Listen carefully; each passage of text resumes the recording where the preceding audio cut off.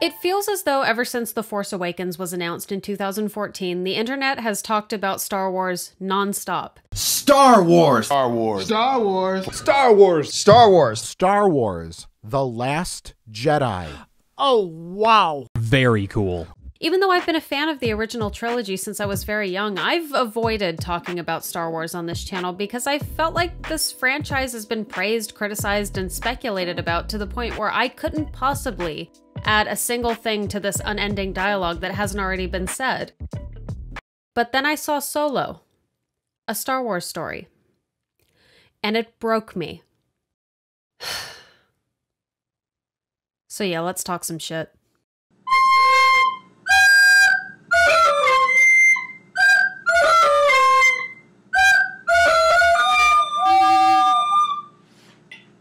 This video is going to be primarily focused on the series from The Force Awakens on, so in regards to the original trilogy and the prequels, I will be brief. Star Wars Episode 4 A New Hope. It's great! Star Wars Episode 5 The Empire Strikes Back. Wonderful. Also my favorite in the entire series. It has all the good shit. Yoda, I am your father, Cliffhanger, Robot Hand, fucking AT-ATs. There's a reason this one tends to be the fan favorite, so if you tell someone how much you love Empire, don't be surprised when you hear I know. Star Wars Episode 6 Return of the Jedi. Mostly great. I'm not sure how I feel about all the Ewok stuff as an adult, and Boba Fett goes out like a bitch, but other than that, it's a perfectly good conclusion to the original trilogy. Overall, the original trilogy, it's great. Good evening. Whoa! Episode 1 The Phantom Menace. No. Episode 2 Attack of the Clones. Worse. Episode 3 Revenge of the Sith. The best in the trilogy, but still, no. Hey, you're being very dismissive of the prequels, and that's unfair because a lot of people like them. Well, Sunny Jim, I'm sorry, but I don't. And considering people's opinions on these particular films tend to be coarse and rough and irritating, I will not bore you with the finer details of mine. And there are plenty of videos that rip these films to shreds at length, so you can go watch one of those, but as far as this video is concerned, let's move on. I personally feel that the continuation slash rebooting of this franchise could not have had a better start. At the time it came out, I was determined not to get my new hopes up that it would be any good while also not being too cynical. The latter proving especially difficult considering I couldn't even go into the produce section without being marketed to by a fucking orange. But thankfully I was pleasantly surprised. The Force Awakens, in my opinion, was really good. Its pacing is excellent. At no point during this film did I feel like it dragged or wasted a minute of its 2 hour and 16 minute runtime. With the exception of a couple of CG things that made me go, eh, the film looks great too. The universe felt very tangible and real, which is something that I really loved about the original trilogy and felt was lacking in the prequels. There wasn't one new character that was introduced that I didn't enjoy. Poe was very charming, Rey was charismatic and likable, Finn gave the stormtroopers some overdue humanity, and Kylo Ren was a profoundly interesting villain. I really appreciated the fact that they revealed Kylo's lineage fairly early on in the film and didn't attempt to make it some sort of twist. It helps to develop his character more quickly, and in knowing his lineage and what his childhood may have been like growing up during a war, we're able to understand why Kylo Ren would be so emotionally troubled that he would ultimately turn to the dark side. Oh, and I really liked BB 8. He's a good little boy. There are two complaints about this particular film that I'd like to address because I feel like they are the most common. The first one being that this film is far too similar to A New Hope, and yes, aesthetically, Jakku is very similar to Tatooine. The scene where Han Solo takes Rey and Finn to meet Maz Kanata is very clearly a nod to the Mos Eisley Cantina scene, and of course, we have the blowing up of the enemy's super weapon at the end. This is the only thing that I kind of had an issue with because it really didn't feel necessary, and it was the most on the nose New Hope esque thing in The Force Awakens to me. I feel like maybe they could have rearranged a couple of things story wise so that they didn't have to blow it up so soon in the series. But overall, I didn't find it to be a huge detriment to the film, and as far as people criticizing JJ for, quote, remaking A New Hope, I feel like that's kind of unfair. First of all, this is not just a continuation of a series, it's also the soft rebooting of one. Not only because it had been almost 10 years since Revenge of the Sith, but because the prequels had become so utterly despised that J.J. Abrams was given the responsibility to make a film that would essentially fix Star Wars. Disney and Lucasfilm were basically like, hey JJ, you are the new hope. No pressure, don't mess this up, thank you. So I completely understand him playing it safe in some areas in order to be certain that the film would feel like a Star Wars film. And other than the handful of similarities it has to A New Hope, it really overall does its own thing. The second criticism I have heard very frequently is how is Rey able to use the Force right away with no training? That doesn't make any sense. Well, actually, it does, and they explain this during an important scene in The Empire Strikes Back. During his training with Yoda, Luke attempts to pull his ship out of the swamp and fails. This is followed by Yoda showing him that it is possible by pulling the ship out himself in a way that seems almost effortless. Then they have this exchange. I don't. I don't believe it. Is why you fail. Motherfucking Eagle Double G. Rey is the embodiment of hope and belief. Even though her family abandoned her when she was very young, she still believes that they're going to come back for her, and she has been diligently counting the days until their return. Unlike Luke, she has had to learn to fight and fend for herself pretty much her entire life. Sure, Luke's aunt and uncle are brutally murdered in the beginning of A New Hope, but before that, Luke had a pretty okay upbringing. But I was going into Tosche Station to pick up some power converters. Rey doesn't have the luxury of whining about power converters and has to scavenge for what little she can so that she can survive. Without her hope and optimism, she would have nothing to live for. So when Han Solo tells her that everything she's heard about the Jedi and the Force is true, she's very receptive to it. And even though her experience when touching the lightsaber makes her afraid, she's ultimately able to overcome it in order to get herself out of trouble. Though Luke does become a powerful Jedi, his development as one is much slower because of his lack of faith in it early on. Rey has never been able to afford to be pessimistic, so harnessing the Force comes much more easily to her because of her openness to it. You will remove these restraints and leave this cell with the door open.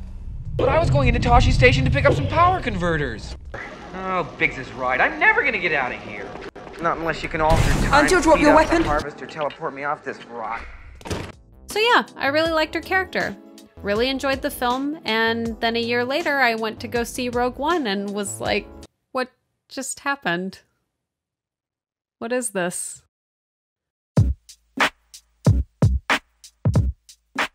Rogue One takes place directly before A New Hope and follows the story of the rebels who steal the plans for the Death Star. Since this film is technically a prequel, we kind of know how it's going to end before even watching it. We know that they successfully get the plans for the Death Star and probably all die in the process. So this film's primary responsibility is to make us fall in love with these characters so that by the end of the film we'll have become emotionally invested enough to where it doesn't matter that we knew where the story was going. But I don't feel as though this film was successful in that regard, unfortunately. With the exception of K2SO, the rest of the characters were surprisingly flat, and I really didn't feel a connection with any of them. There are some things that this movie does well, most of which is in the third act, but I feel as though its most important job was making these characters who we've never met before interesting, and they just didn't do that. Forest Whitaker's character didn't even need to be in this movie. He's set up as this rebel who's gone kind of crazy later in life and is going to be a massive obstacle slash antagonist that the main characters are going to have to deal with throughout the film, but no, they just kill him off almost immediately.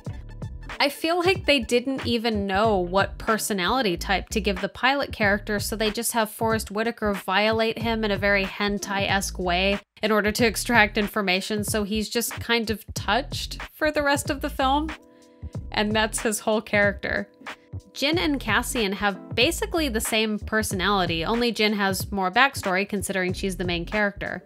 I would have liked to know more about Donnie Yen's character because I like the idea of this really talented fighter who would have been an awesome Jedi if he had had the opportunity to have been trained. But they don't develop him or his best friend very much, whose character trait is being Donnie Yen's best friend. My favorite character of the Rogue One crew was by far K2SO, played by the wildly underrated Alan Tudyk, who needs to be in more things because he's precious. But anyway, he's the only one in this film with any real charisma, and he manages to provide some genuine comic relief here and there, like this part where he describes my feelings about this film. I thought I told you to stay on the ship. You did, but I thought it was boring and you were in trouble. His was also the only death that made me genuinely sad.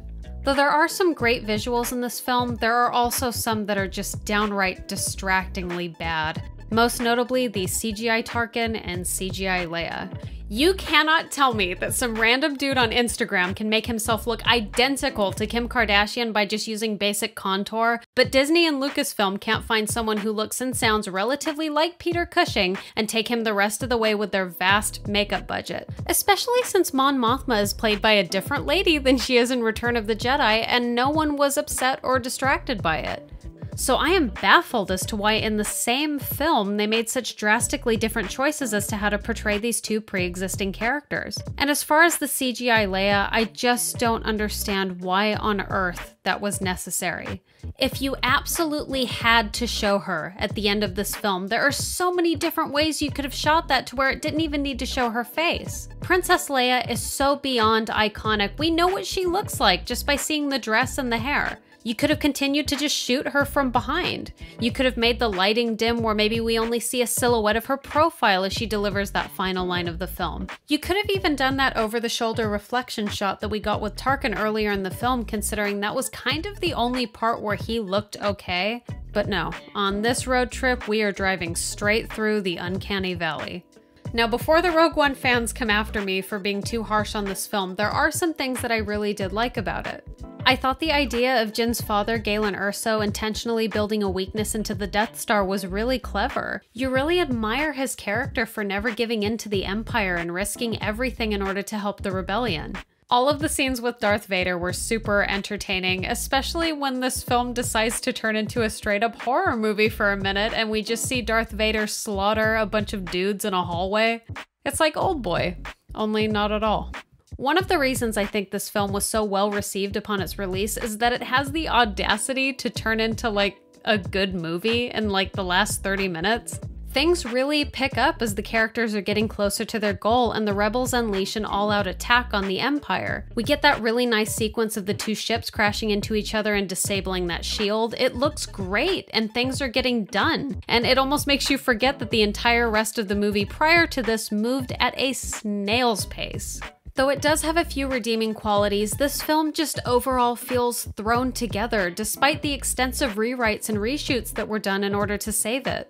However, after recently listening to an interview with Tony Gilroy in which he briefly talks about his experience with being brought onto this project, I'm glad they did those reshoots. Gilroy was brought on board after they had done a director's cut to provide some notes, additional writing, and act as a second unit director on the reshoots, and he describes what he walked into as, quote, a mess. They were in such a swamp. They, were- needed you. Well, they were just in so much terrible, terrible trouble that all you could do is is, is, is improve their position. So, yeah, instead of a disappointing film, we could have apparently ended up with a complete dumpster fire, earning Rogue One a solid could have been worse out of 10. So, although The Last Jedi should be next on the agenda, since up to this point I've talked about each film in order of when it was released, I want to save it for last. Not only because I have far more to say about it than I do about Solo, but because of the recent resurgence of hate it's been getting. I mean, it's gotten to the point where Kelly Marie Tran has been driven off of social media because of the excessive harassment she's been getting over her character Rose. You guys are so mean. It's crazy. Anyway, I will certainly get into all of that later on, but for right now, let's get the most recent Star Wars story out of the way.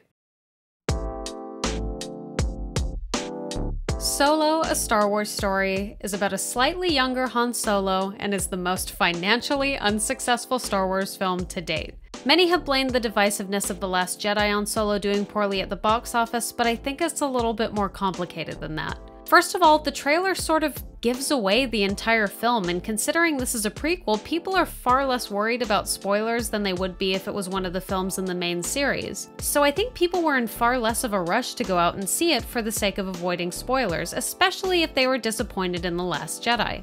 Then the reviews began to come out, which were primarily poor, and this was likely the final push for some that were on the fence about whether or not to spend their money on a ticket to just skip this one. Oh, and the news that Phil Lord and Chris Miller were fired over their creative differences with Lucasfilm so far into production really rubbed people the wrong way.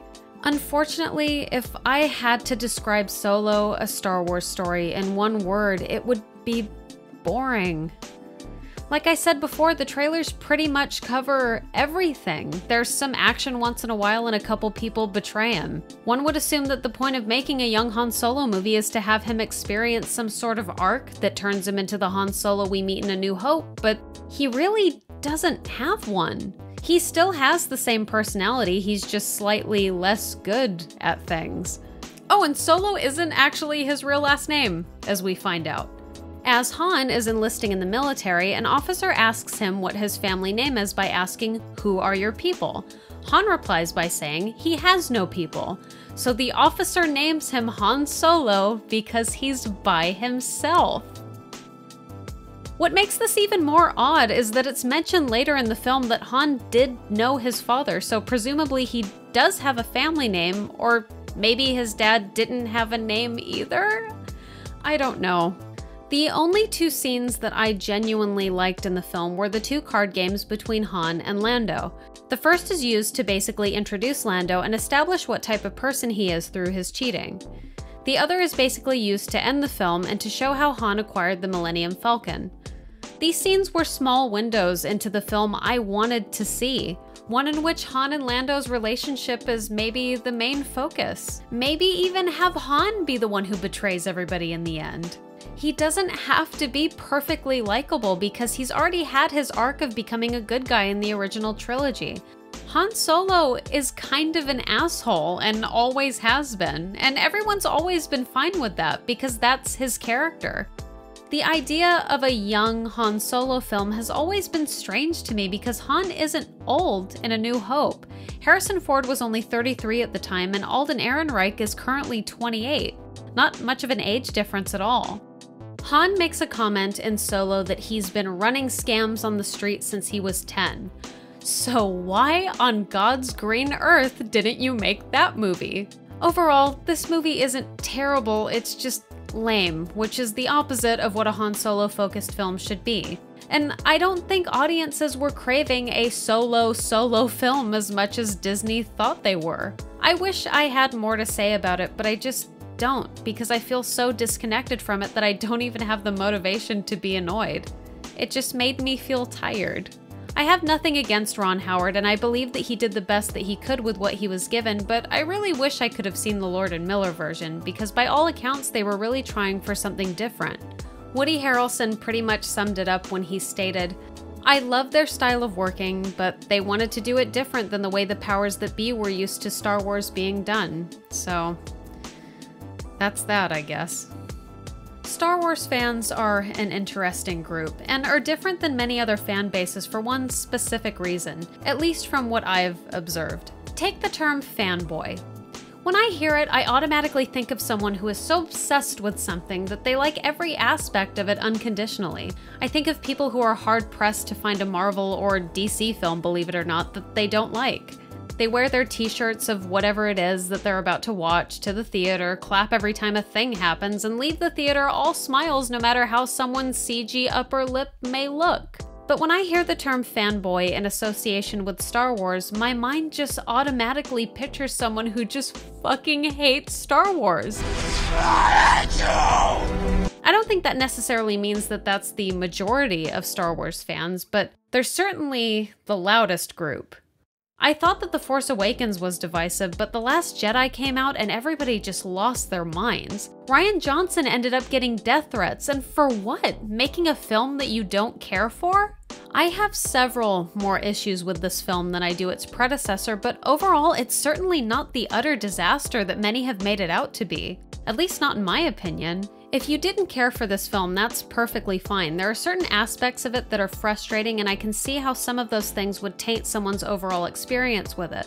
I would be the biggest hypocrite in the world if I acted like it wasn't okay to hate a movie, especially after my Annabelle videos. But there's a big difference between poking fun at or criticizing a piece of art and flat out harassing everyone who was involved in it for, quote, ruining your childhood. I've been a Star Wars fan my whole life, and I get being frustrated with it. I remember going to see all the prequels and being disappointed every time. And before that, going to the theater for the 20th anniversary of the original series and seeing all of the out of place CGI that George Lucas thought was a good idea. And worst of all, realizing that not only were they going to keep changing things every time they released it on DVD, but that I didn't even have the option to watch the originals the way they used to be anymore. I have my fingers crossed that since Disney just bought Fox and now have full rights to the original films that they will do the smart thing and re-release the original trilogy in its original form. But my point is, I get it. I get Star Wars pain as much as anyone. It's been a rough couple of decades. There's a documentary called The People vs. George Lucas that goes deep into all of this stuff. Star Wars has had a really strange relationship with its fans for some time now. And again, there's nothing wrong with criticizing a film. My channel and countless other ones do exactly that all the time because we love talking about movies. But a lot of the criticism I've seen for The Last Jedi has been far from constructive, to put it lightly. So before I continue talking about the angry mobs surrounding it, let's talk about the actual movie finally.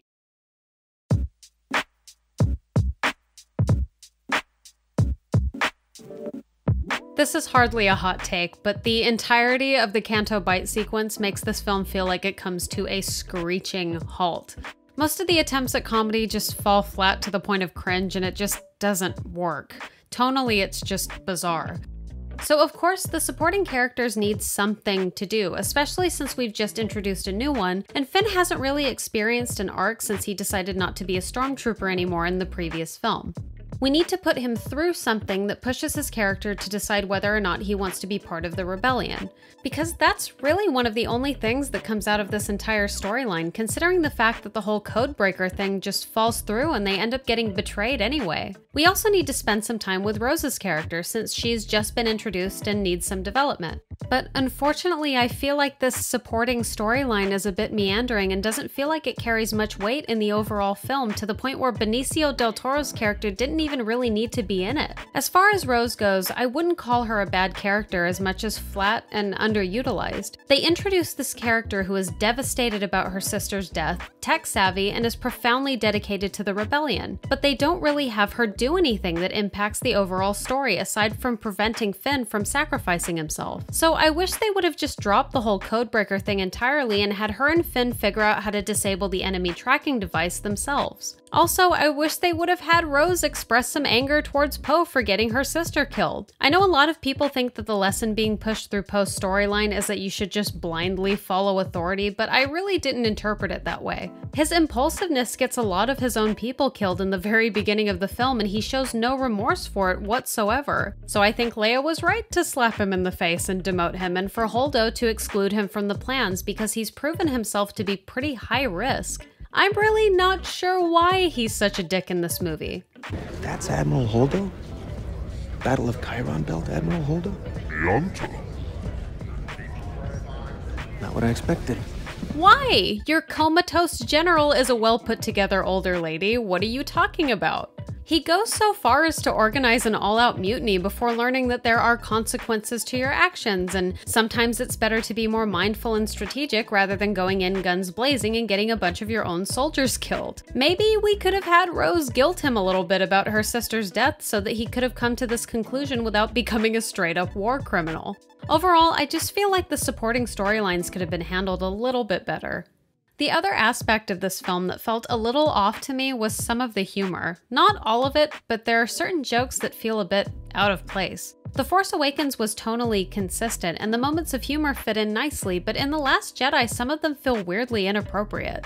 Like, for example, when Rey hands Luke his lightsaber. I know that they were going for a surprise slash laugh when he abruptly tosses it over his shoulder, but it just feels kind of strange. If they wanted to do a misdirect, I wish they would have just had him approach her as if he's going to take the lightsaber from her, but instead he just gently closes his hand around hers, indicating that she keep it, and gently touches her shoulder as he walks away. Yeah, just some of the jokes and dialogue just didn't land for me as well as they do in The Force Awakens. Let's go, Chrome Dome. I was so relieved that Rey's parents were nobody. I was so speculation fatigued over people saying she was a Kenobi or that she was Luke's daughter based on the fact that they looked at each other for a long time. I was praying that they wouldn't take the fan bait and make her related to some other major character. It never made any sense to me. Parents that would leave their little girl on a desert planet to probably get killed sound like assholes. And guess what? They were assholes. It also ties into the idea that the Force belongs to everyone and you don't have to be descended from a Jedi to be Force sensitive. Just like the little kid at the end who Force grabs the broom. Though watching Luke drink some titty milk while making deadass eye contact with Rey was deeply unsettling, I enjoyed the scenes between the two of them for the most part, and learning Luke's reasons for wanting the Jedi to end. He has a great point when he says the idea that if the Jedi die, the light dies is vanity, because it is. The Jedi favor the light side of the Force as the Sith do the dark side. Neither of them own it, they just have an advanced understanding of how to use it.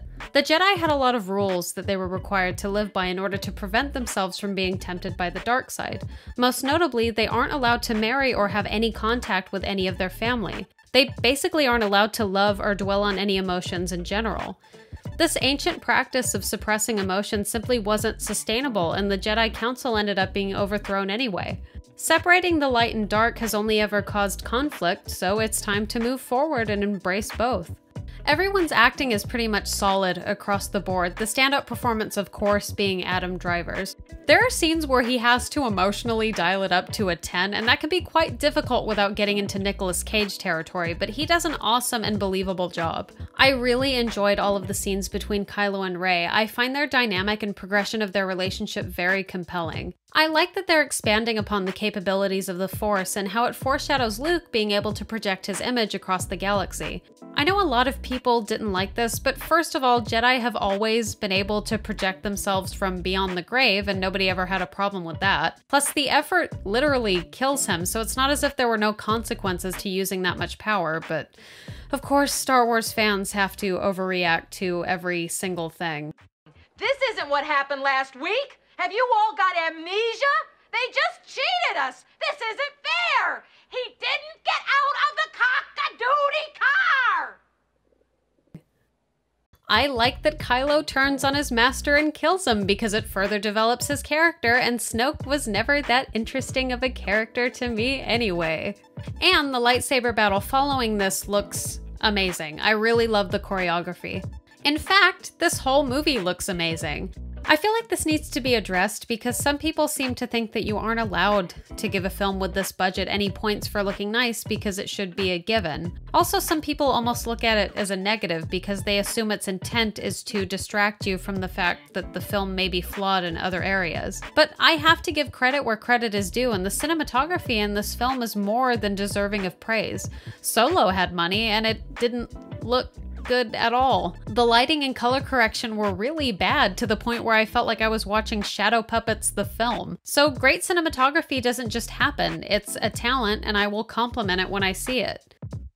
Like I said before, I personally have more issues with this film than I do with The Force Awakens, but it's by no means a bad film. It's still pretty good, so it's difficult for me to wrap my head around the anger towards it. Obviously, when you make a video like this, you open yourself up to be criticized for your opinions. When you shit on a movie, you have to be prepared for people who liked it to strongly disagree with you because you kind of have it coming. But this is the first time I'm actually more nervous about the response I may get for praising a film. And I don't think I'm the only one. There's a reason why so many people that have made videos praising this film have chosen to use the title In Defense of The Last Jedi or something similar. People are enraged at this film to a level I just can't understand. Kelly Marie Tran having to delete her Instagram because of the level of harassment she was getting is just so sad.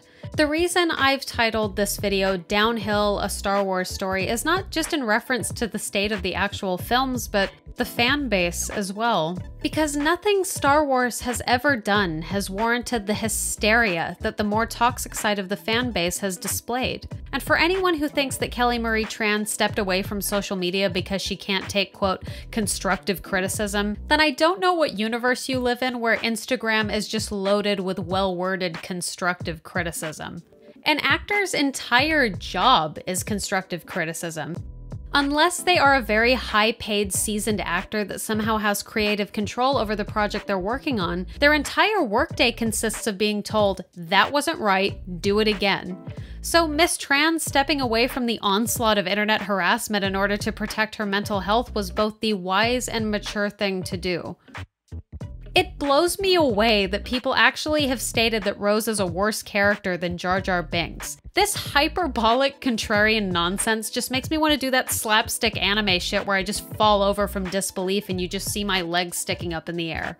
As does the new Twitter page at RM The Last Jedi that's apparently wanting to remake The Last Jedi, and I quote, provide Disney an opportunity to course correct with the Star Wars franchise. Oh my god. This actually got roasted pretty hard on Twitter by people far funnier than me, so I won't go into it, but feel free to look up this whole debacle if you want a good laugh.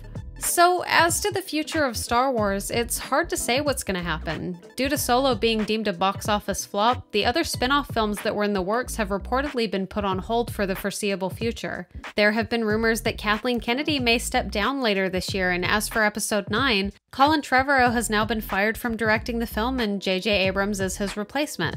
And it feels like very recent history repeating itself. J.J. Abrams is once again carrying the burden of not only directing a Star Wars film, which is difficult enough, but also being put upon to repair Star Wars as a brand. To make a film that'll somehow make up for The Last Jedi being so divisive and for Solo's poor performance across the board. Thoughts and prayers, pal. I do not envy you in the slightest. As for me, when episode 9 comes out, I will be there, as I always am. As will all of you who have devoted all of your energy to shouting from the rooftops how much you hated The Last Jedi. You guys know you want to see how this thing ends. Don't lie. So until then, may the Force be with you. Thank you for watching.